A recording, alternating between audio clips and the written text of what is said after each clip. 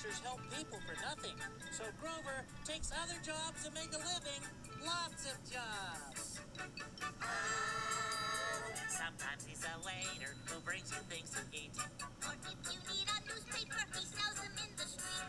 He'll drive you in his taxi all around the town. And in his elevator, he'll drive you up and down. Sometimes he makes a living walking doggies in the park.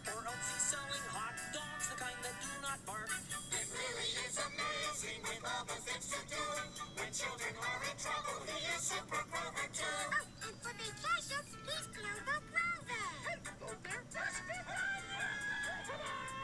He goes everywhere. He's a Renaissance monster, Bert.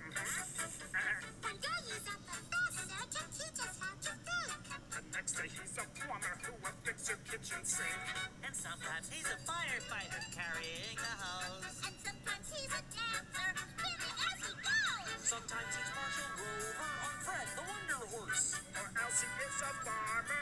of course. It really is amazing with all the things to do. When children are in trouble, he is super Grover. And when his work is through, he's just a friendly monster who is furry and is. And I am cute too.